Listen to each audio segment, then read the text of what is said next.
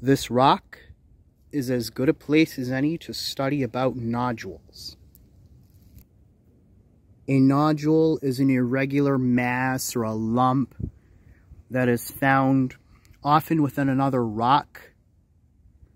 And, you know, it's just like, you know, it's wedged in there. It's a nodule. And it contrasts with the host rock that it's in. It contrasts from the host strata. In this case, you have chert nodules found within limestone. There is a very good reason why you can find chert nodules in limestone.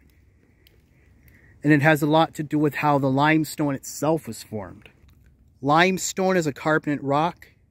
It's formed from the remains of ancient marine shells. The animals died and the shells were left behind. And that was how limestone was formed.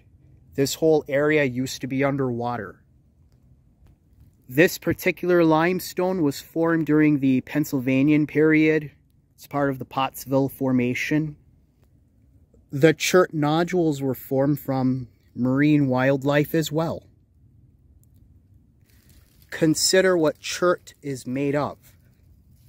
It is made of silicon dioxide. Diatoms are made from silicon dioxide as well. And diatoms are often found in marine environments. The diatoms would die off, leaving behind a skeleton. And that skeleton, made of silicon dioxide, it would dissolve, recrystallize. Think about what happened. You've got the remains of diatoms they have dissolved, recrystallized, and they've gotten trapped inside of the limestone. And it would just grow and grow and grow until you have nodules of chert just wedged in there. You can just see the chert nodules just wedged inside of the limestone. This whole area used to be underwater. And when the seas retreated, it left behind limestone and little chert nodules inside the limestone.